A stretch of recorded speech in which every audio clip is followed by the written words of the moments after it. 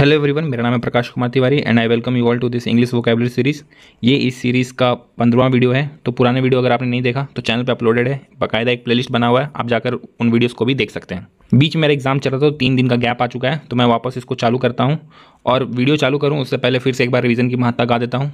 तो आप please revise करते रहें, क्योंकि रिवाइज़ करने से ही वो कैब अच्छा होगा और उस पर हम कमांड कर सकते हैं। अदरवाइज़ किसी भी तरीके से ये आपको फ़ायदा नहीं करेगा। चलिए बिना किसी तरीके वीडियो को में आगे बढ़ते हैं। तो आज का हमारा पहला वर्ड है पॉपर ठीक है?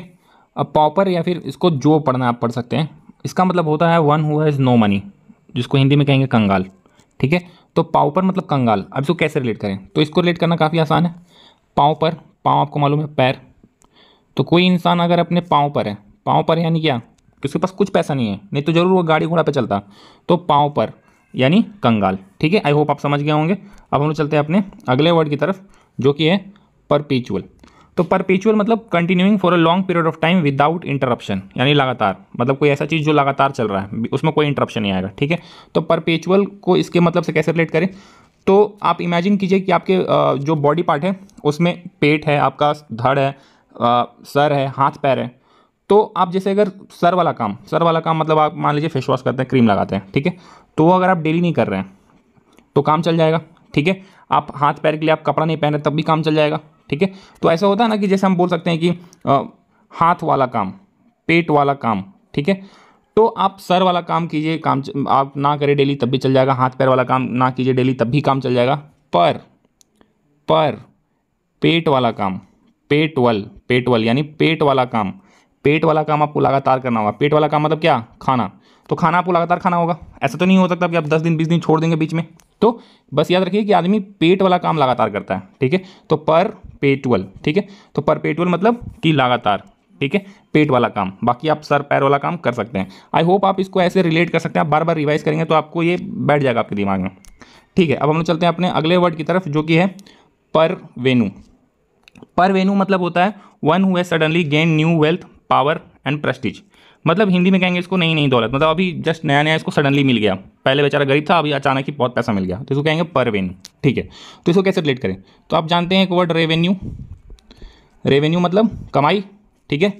तो ये रेवेन्यू का ही हो गया वेन्यू लेकिन आप इसको ऐसे कीजिए पर। पर यानी आप इसको रिलेट कीजिए ऐसे हिंदी में परसों। परसों। ये परसों वाला पर है। तो परसों वाला रेवेन्यू परसों वाला रेवेन्यू मतलब बिल्कुल नई नई दौलत। कल ही परसों आया है, ठीक है? पहले से नहीं था। आई होप आप समझ में आ रहे होंगे, आपको आ रहा होगा। आप रिवाइज करेंगे तो आपको अच्छे से दिमाग में बैठ जाएगा। अब हम लोग चलते हैं अपने अगले वर्ड की तरफ़, जो कि है आउटलैंडिश आउटलैंडिश मतलब लुकिंग और साउंडिंग फॉरेन स्ट्रेंज जिसको हम लोग कहेंगे विदेशी, हिंदी में, ठीक है? तो जो ऐसा इंसान जो कि, या कुछ भी चीज़ जो कि फॉरेन लगे या फिर स्ट्रेंज लगे अनफेमिलियर लगे मतलब लगे ही नहीं कि अपने जगह का है, ठीक है? तो उसको कहेंगे आउटलैंडिश तो इसको तो रिलेट करना काफ़ी आसान है। आउट मतलब बाहर का और लैंड तो कोई बाहर के लैंड से लगेगा कोई इंसान. लैंड मतलब ज़मीन. तो कोई बाहर की ज़मीन का अगर कोई इंसान लगे तो कैसा लगेगा? ओबियसली स्ट्रेंज लगेगा अनफेमिलियर लगेगा फॉरेन लगेगा, विदेशी लगेगा तो आउटलैंडिश ठीक है? आई होप आप समझ गए होंगे. अब हम फिर से एक बार रिवाइज कर लेते हैं ताकि दिमाग में अच्छे से बैठ जाए. तो हमने देखा पहला वर्ड जो कि है पाँव पर. तो पाँव पर है यानी आप क्या हैं? कंगाल हैं. नहीं तो आप ऑब्वियसली गाड़ी पे होते. ठीक है? फिर है परपेचुअल परपेचुअल मतलब आपको ऐसे रिलेट करना है कि आप हाथ पैर का काम अगर डेली ना करें, तब भी चलेगा. सर का काम डेली ना करें, तब भी चलेगा. लेकिन पर पेट वाला काम पेट वल पेट्रोल काम का क्या होगा आपको? लगातार करना होगा। ठीक है? फिर हमने देखा परवेन्यू। परवेन्यू। तो परवेन्यू में हमने देखा रेवेन्यू रेवेन्यू और ये परसों का रेवेन्यू। परसों का रेवेन्यू मतलब नई नई दौलत। ठीक है? फिर हमने आगे वर्ड देखा आउटलैंडिश। आउटलैंडिश मतलब आउट, यानी बाहर के लैंड वाला इंसान। कैसा दिखेगा? विदेशी, अनफेमिलियर। ठीक है? आई होप आपको समझ में आ गया होगा। अब हम लोग चलते हैं अपने अगले वर्ड्स की तरफ़। हमारा अगला वर्ड है मर्सिनरी मर्सिनरी मतलब a soldier who fight for the money मतलब किराए का सैनिक, भाड़ा का सैनिक। आपने पैसा दिया और वो आपके लिए लड़ाई करने आ गया, ठीक है? तो इसको कहेंगे मर्सेनरी तो अब इसको कैसे रिलेट करें इसके मतलब से? तो इसको तोड़ दीजिए। ये मर, इसको लिखिए कि मारपीट करने वाला, मार, ठीक है? मार। और ये सेनरी मतलब सेना, ठीक है? तो मार करने वाला सेना, ठीक है? मार करने वाला सेना। तो आप जनरली आपका बहुत सारा दोस्त है, लेकिन आपने ऑब्वियसली एक सेना बना के रखा है सिर्फ़ मार करने वाला। तो आप उनको क्या देते होंगे? पैसा दे के रखते होंगे? वो आपके क्या है? किराए के सैनिक है, ठीक है? तो जब भी आपका कहीं कुछ लफड़ा हो, आप मार करने वाला सेना अपना बुला लीजिए मर्सेनरी यानी किराए का सैनिक, ठीक है? आप ऐसे रिलेट कर सकते हैं, मार करने वाला सेना मर्सिनरी ठीक है? अब हम लोग चलते हैं अपने अगले वर्ड की तरफ़, जो कि है लिमीवोरस। लिमीवोरस मतलब ईटिंग मर्ड एक ऐसा इंसान जो मिट्टी खाता हो, ठीक है? तो मिट्टी खाने वाला इंसान। तो ये हो गया लिमी लिमीवोरस। अब इसको कैसे याद करें? तो देखिए, आपने सुना होगा कार्निवोरस, जो मांस खाते हैं, हर्बीवोरस, जो जो प्लांट्स वगैरह खाते हैं तो उनको कहेंगे हर्बीवोरस।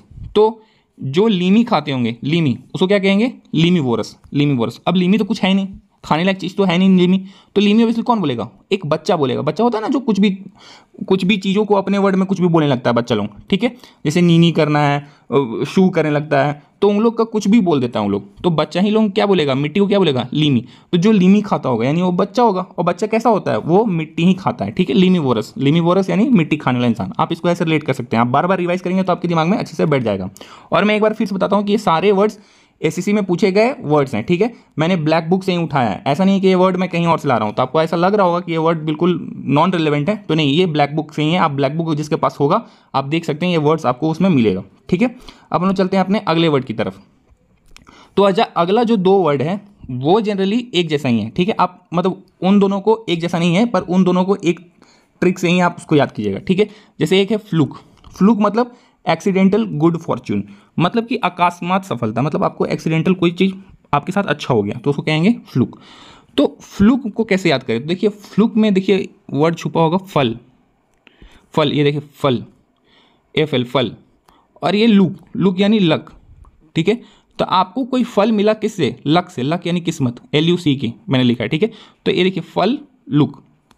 मतलब फल आपको मिला लक से, यानी आपको एक्सीडेंटल गुड फॉर्चून मिला। ठीक है? फिर उसके बाद हम देखेंगे वर्ड फ्लाउंडर फ्लाउंडर मतलब टू स्ट्रगल हेल्पलेस यानी घबरा जाना, ठीक है?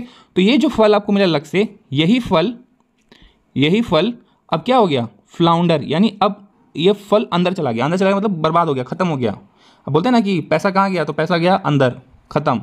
तो फ्लाउंडर यानी यही फल क्या चला गया? अंदर चला गया। फ्लाउंडर इसका मतलब क्या हो गया? तो आप क्या हो गए? घबरा गए, क्योंकि आपको भाई कुछ तो सफलता मिला था, अब वो सफलता अंदर चला गया। ठीक है? आई होप आपको समझ में आ गया होगा। आप इसको रिवाइज करेंगे तो आपको दिमाग में बैठ जाएगा। एक बार फिर से हम उन वर्ड्स को रिवाइज कर दें जो अभी हमने पढ़ा। ठीक है? तो हमने पढ़ा मर्सिनरी मर्सिनरी मतलब मार करने वाला सेना। तो इसलिए क्या है? किराए के सैनिक। मतलब आपके कुछ दोस्त हैं, जहाँ आपका लफड़ा हुआ, मार करने के लिए आपने अपना सेना बुलाया तो आपके किराए के सैनिक। कुछ खर्चा पानी आप करते होंगे, ठीक है? फिर हमने देखा लिमी वोरस लिमी वोरस मतलब कार्निवोरस वोरस वैसे ही लीमी वोरस और लीमी कौन बोलता होगा? लीमी एक बच्चा ही बोलेगा, ठीक है? और बच्चा क्या खाता क्या खाता है? मिट्टी मिट्टी खाने वाला व्यक्ति, ठीक है? फिर हमने देखा दो वर्ड, सॉरी, फिर हमने देखा दो वर्ड, फ्लूक और फ्लाउंडर। तो फ्लूक मतलब एक्सीडेंटल गुड फॉर्चून मतलब आपको अकस्मात सफलता मिला। तो कैसे? फल, एफ़ एल, फल और एल्लू लुक, यानी लक से आपको कुछ फल मिला। और वो जो फल मिला, वो आपका आप क्या चला गया? आपका अंदर चला गया, ठीक है?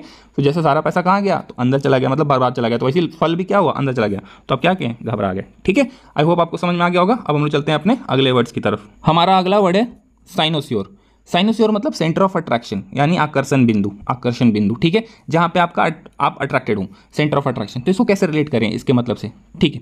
तो साइनोस्योर तो साइनो को याद ऐसे रिलेट लीजिए सुनो, ठीक है? अब कोई मीटिंग हो रहा है, ठीक है? वहाँ पे बहुत सारे लोग बोल रहे हैं। अब मीटिंग में आपको सब बोरिंग लग रहा है। बोरिंग लग रहा है, किसी को मज़ा नहीं आ रहा। भाषण ऑब्वियसली कोई नहीं सुनना चाहता। लेकिन कोई सुनेगा श्योर श्योर साइनो मतलब सुनो। तो कोई सुनेगा श्योर कब? क्योंकि वो अट्रैक्टिव परफॉर्मेंस होगा। तो वो क्या होगा? उस उस मीटिंग का सेंटर ऑफ़ अट्रैक्शन होगा। वहाँ पे सब सुनेगा श्योर साइनो श्योर ठीक है, आप ऐसे याद रखें कि कोई मीटिंग हो रहा है, वहाँ पे बहुत लोग बोल रहे हैं, सबको बोरिंग लग रहा है, सबको नींद आ रहा है। लेकिन कहीं पे किसी का बात सब साइनो श्योर सुनेगा श्योर वो क्या होगा? वो होगा सेंटर ऑफ़ अट्रैक्शन उस मीटिंग का। ठीक है? आई होप आपको समझ में आ गया होगा। अब हम लोग चलते हैं अपने अगले वर्ड की तरफ़, जो कि है कंपेयर कंपेयर या फिर कंपेयर अब ये कंपेयर वो कंपेयर नहीं है, जो हम लोग कंपेरिजन करते हैं। ठीक है? ये कंपेयर ठीक है? तो a person who introduces the performers in a variety show मतलब कि कार्यक्रम का उद्घोषक।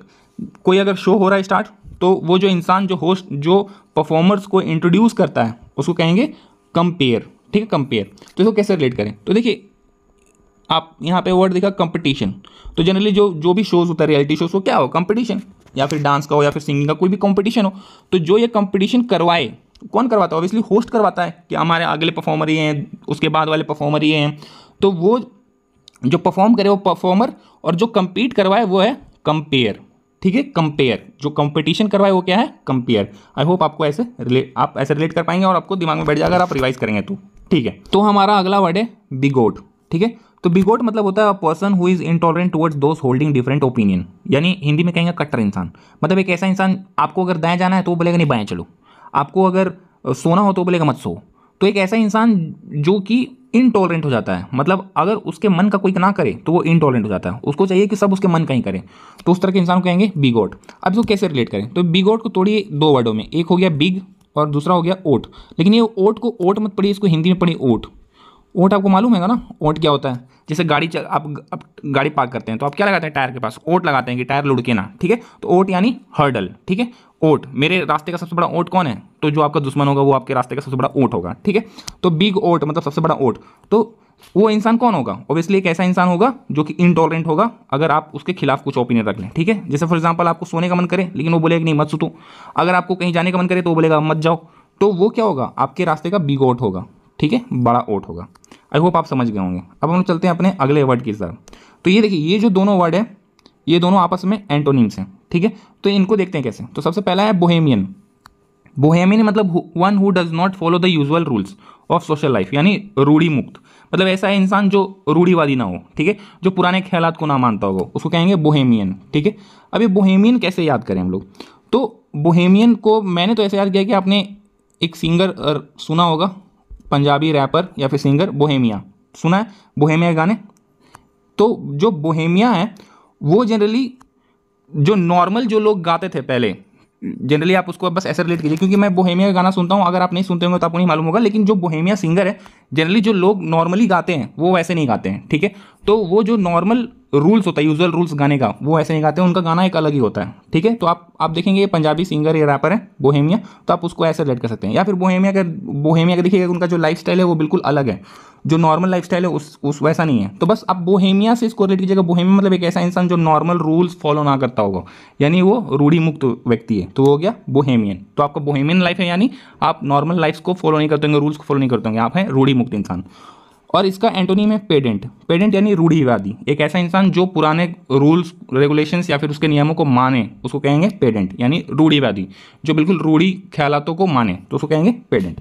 अब इसको कैसे रिलेट करें? तो इसको बस ऐसे याद कीजिएगा कि पेड मतलब वो इंसान जो पैदा हुआ और उसको एक रूल सिखा दिया गया कि भाई ऐसे ऐसे करना है, और वो अंत तक अंत तक, मरते तक वही रूल फॉलो करे तो वो कहेगा पेडेंट, यानी पैदा हुआ पेडेंट और अंत तक वही रूल्स को माना। तो वो हो गया रूढ़ीवादी, ठीक है? और बोहेमियन यानी जो रूढ़ी मुक्त है, ठीक है?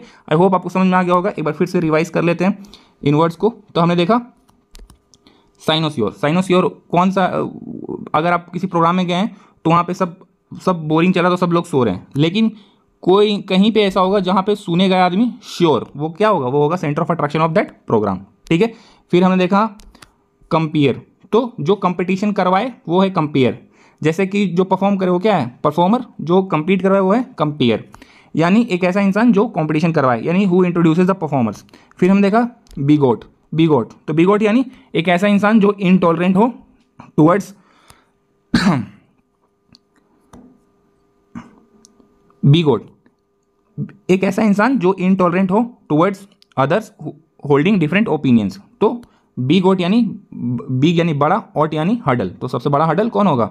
जो इंसान इंटॉलरेंट होगा towards other holding different opinions ठीक है? फिर हमने देखा वर्ड दो वर्ड सॉरी फिर हम देखे यहाँ पे दो वर्ड बोहेमियन और पेडेंट तो बोहेमियन यानी बोहेमियन लाइफ यानी रूढ़ी मुक्त लाइफ और पेडेंट यानी पैदा होते के साथ अंत तक जो रूल फॉलो करे, वही रूल। वो कहेंगे रूढ़ीवादी, ठीक है? आई होप आपको समझ में आ गया होगा। आप इसको रिवाइज करेंगे तो आपके दिमाग में अच्छे से बैठ जाएगा। रिवीजन ही इंपॉर्टेंट मैं बार बार कह रहा हूँ, ठीक है?